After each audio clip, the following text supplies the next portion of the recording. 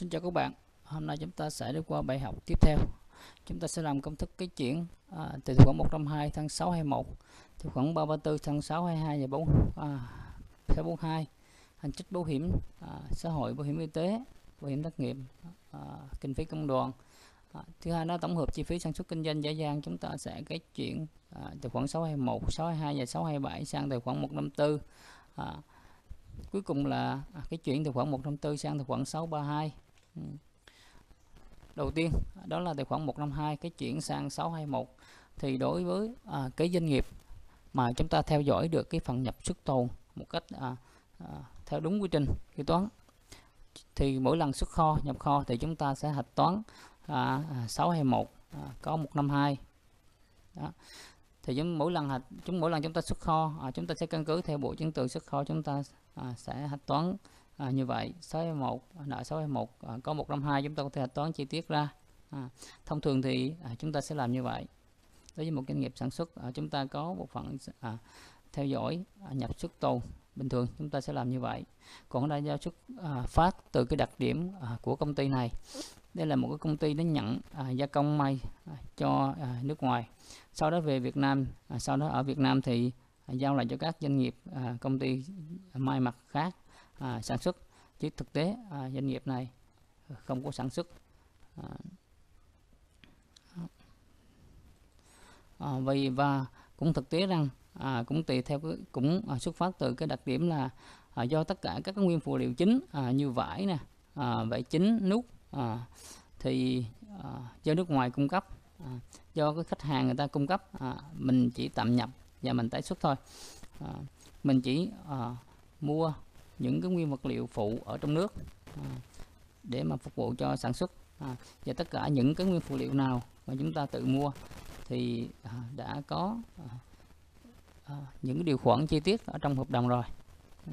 Do đó những cái nguyên vật liệu mà chúng chúng ta mua thì sẽ căn cứ theo cái định mức sản xuất bao nhiêu chúng ta à, mua bao nhiêu và đưa vào hết sản xuất. À, chứ dường như là cũng à, mình thực tế rằng à, cũng không có tồn kho hoặc là tồn kho rất là ít. À, do đó bao nhiêu chúng ta à, mua vào chúng ta đưa thẳng vào xưởng sản xuất à, của các công ty mà à, nhận gia công lại à, sản xuất ở đây, ở đây chúng ta à, toán cuối kỳ chúng ta sẽ à, à, làm công thức cái chuyển à, hết tất cả vào tài khoản 621 luôn à, về công thức thì chúng ta vẫn sử dụng hòm à, sum if à, chúng ta sử dụng hòm sum if à.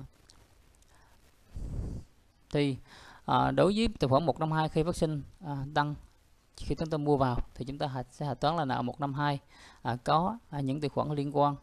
À, còn những cái phần mà chúng ta trả về thì chúng ta sẽ hạch toán à, ví dụ như ở đây là khi chúng ta mua vào thì chúng ta sẽ hạch toán là 1521 ví dụ như vậy. Có 331 à, 3311 ví dụ như là 10 triệu. À.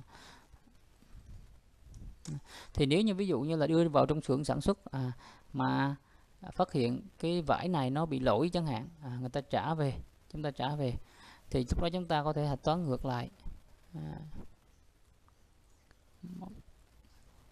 đó. ví dụ như trả về 5 triệu giá trị là 5 triệu à. như vậy thì cái giá trị à, nguyên phụ liệu mà chúng ta cái chuyển ở trong cái tháng này à, chỉ còn lại 5 triệu thôi đó. do đó chúng ta sẽ phải lấy tổng những cái phần tăng ở bên nợ tài khoản 152 trừ cho những cái phần mà giảm. À, ở bên có tài khoản 152 để chúng ta cái chuyển sang tài khoản 621 Đó. Rồi, chúng ta sẽ làm công thức à, thực hành làm công thức ở đây. Chúng ta vẫn sử dụng cái hòm à, sum if. Đó. sum if.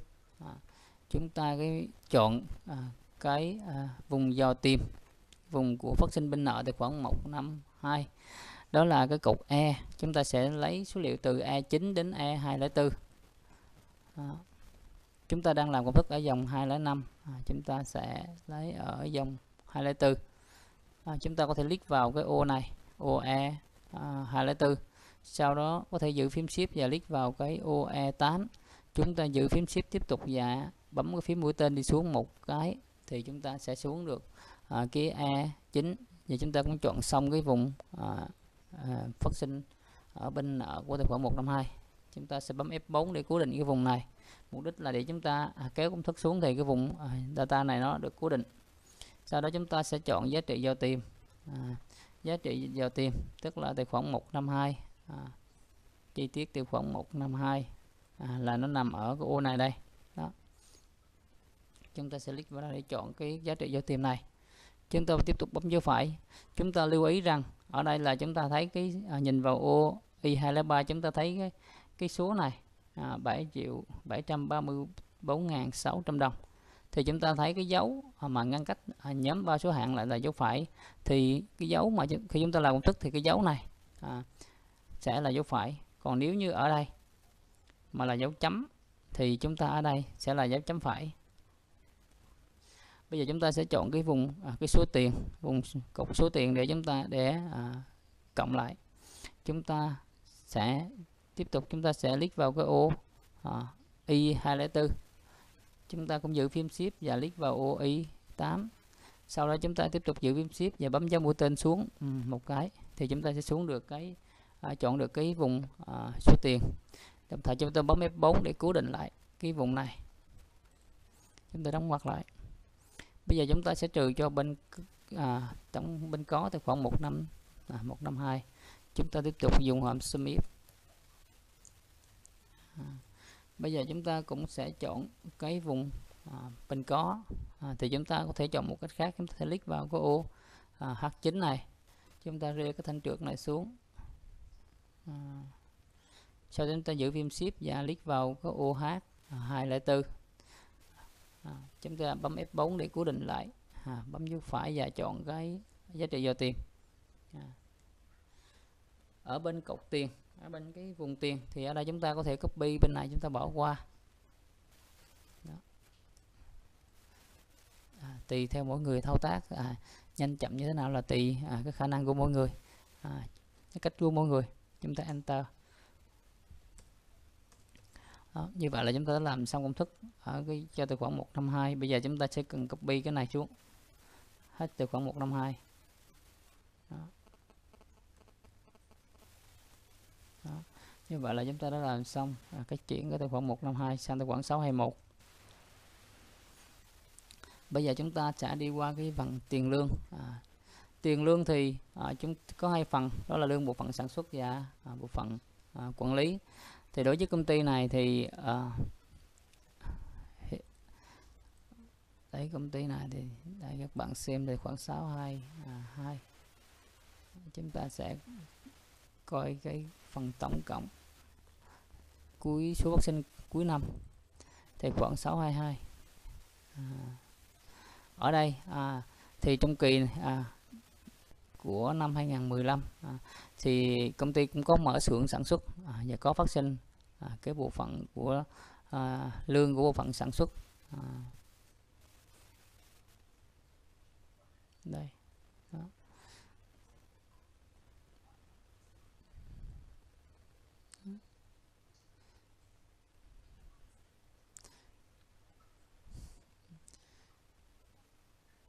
bạn thấy thì có một số à, cái tháng thì à, thì có phát sinh. À, lương của phần sản xuất.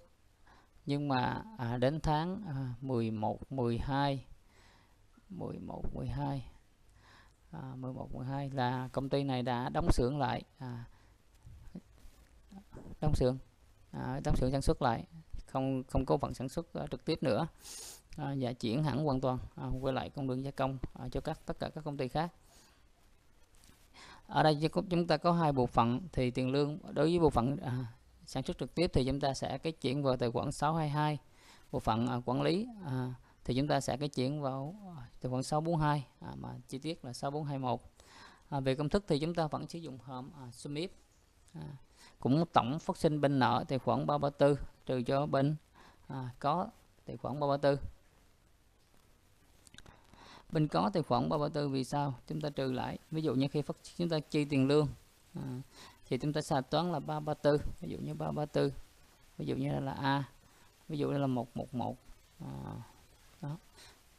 Thì khi à, nếu như ví dụ như chúng ta tính tiền lương mà thừa à, vì chúng ta tính nhầm thì khi chúng ta thu thu lại lương thì chúng ta xài toán ngược lại. À, đó do đó do đó chúng ta à, khi làm công thức chúng ta cũng lấy tổng cái phát sinh bên à, bên nợ tài khoản 334 chúng ta trừ cho những à, tổng cái phần phát sinh bên có tài khoản 334 đó. Chúng ta vẫn sử dụng hàm à, cái hàm sum if à. thì ở đây chúng ta cũng không cần phải gõ lại nữa mà chúng ta chỉ cần copy ở bên trên xuống. À. copy ở bên trên cái tài khoản 152 vừa rồi chúng ta vừa làm công thức copy bỏ xuống như này. Sau đó chúng ta có thể sửa lại cái số dòng. À, ở đây chúng ta đang làm công thức à, dòng 216 thì chúng ta sẽ sửa đến với à, chúng ta lấy đến dòng 215 à, để đảm bảo thì chúng ta sẽ làm như vậy. 215 204 chúng ta sẽ sửa thành 215 Đó. bên này cũng vậy chúng ta cũng sửa thành 204 thành 215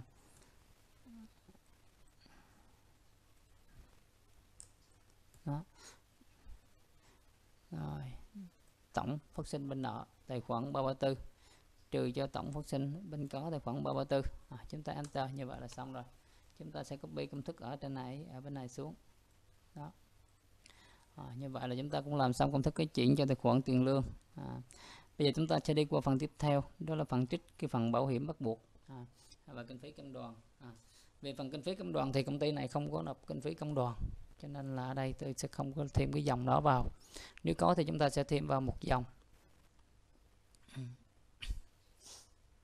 Và đối với kinh phí công đoàn thì ở đây chúng ta sẽ hạch toán là à, 642 ví dụ 641 ở đây là à, 3382 đối với bảo hiểm xã hội và bảo hiểm y tế, chúng ta sẽ có thể là dòng chung lại một dòng. Hạch toán chung cũng được, không sao cả.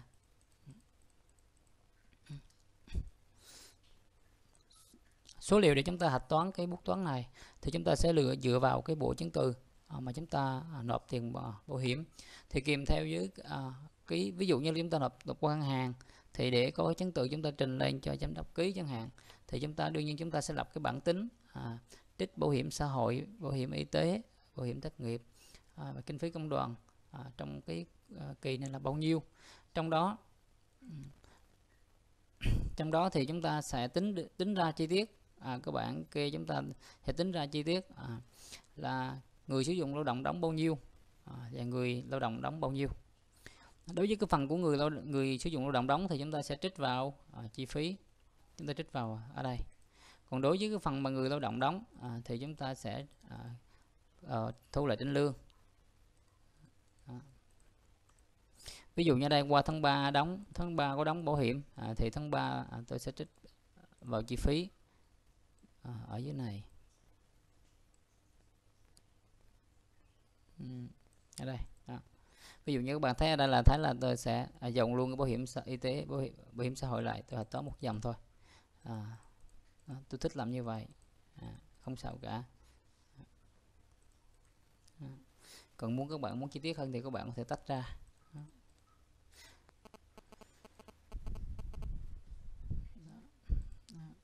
Rồi đó là cái phần số liệu à, cái phần à, cái nguồn để chúng ta lấy số liệu chúng ta hạch toán vào cái bút toán này. Chúng ta ở đây thì chúng ta không làm công thức.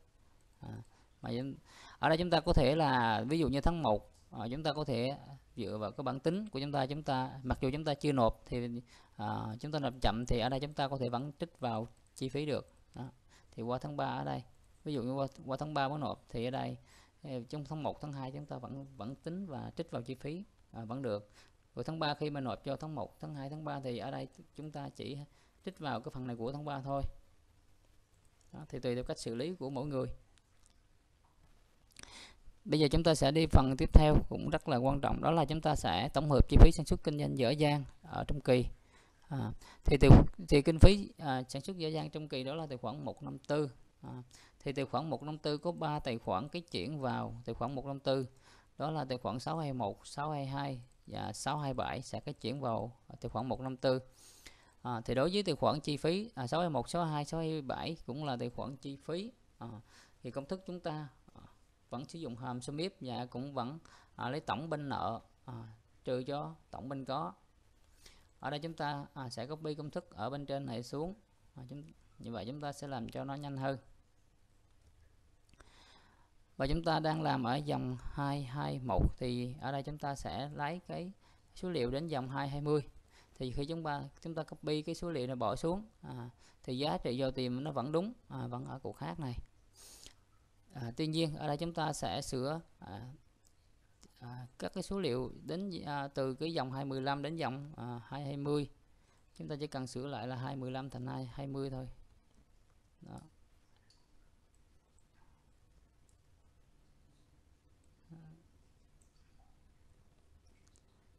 Đó, các bạn chỉ chỉ cần sửa lại như vậy thôi. Đó. thì chúng ta enter à, là à, sẽ xong. Đó. và chúng ta làm tài khoản chỉ cần ở đây chúng ta chỉ cần làm tài khoản 621 622 627 và chúng ta sắp xếp à, nó kế tiếp nhau. À, và điều cái chuyển sang tài khoản 154 nên ở đây chúng ta sẽ copy cái phần này xuống à, hết tài khoản 627 luôn. Là xong Đó. À, như vậy là công thức làm các bạn thấy là chúng ta à, làm rất là nhanh. Chúng ta chỉ cần làm và copy xuống thôi.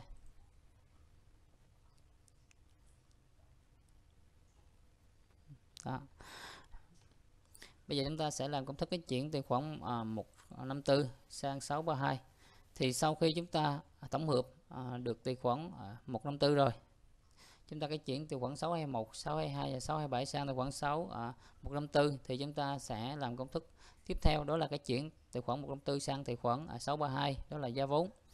À, thì công thức cũng tương tự như vậy. Chúng ta cũng sử dụng hòm à, submit và lấy phát sinh tổng phát sinh bên nợ tài khoản 154 chúng ta trừ cho bên có tài khoản 154 à, bên nợ là cục E à, bên có cục khác đây. Thì tài khoản 154 sang tài khoản 632 tài khoản 154 cũng là tài khoản chi phí chúng ta cũng lấy tổng phát sinh bên nợ trừ cho tổng phát sinh bên có. À, thì ở đây chúng ta có thể là chúng ta copy cái công thức ở bên trên này à, xuống. Sau, sau đó chúng ta sửa lại cái số dòng. À, đó. Chúng ta đang làm công thức ở dòng 230 thì chúng ta ở đây chúng ta sẽ lấy số liệu đến dòng 229 ở đây. Đó.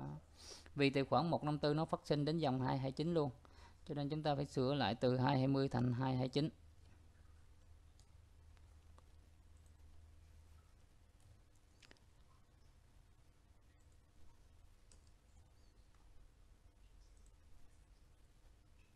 đó như vậy là chúng ta à, đã làm xong công thức này ta enter một cái đó.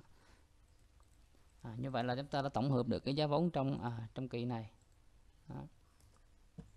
như vậy chúng ta đã xong bài học hôm nay.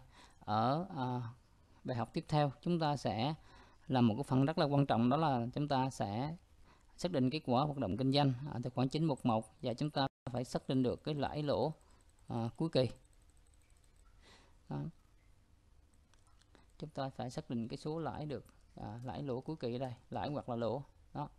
Thì chúng ta sẽ ở bài học tiếp theo chúng ta sẽ làm tất các công thức cái chuyển doanh thu sang tài khoản 911 và các cái công à, và cái chuyển chi phí sang tài khoản 911 sau đó chúng ta sẽ là công thức xác định lãi à, lỗ ở trong kỳ.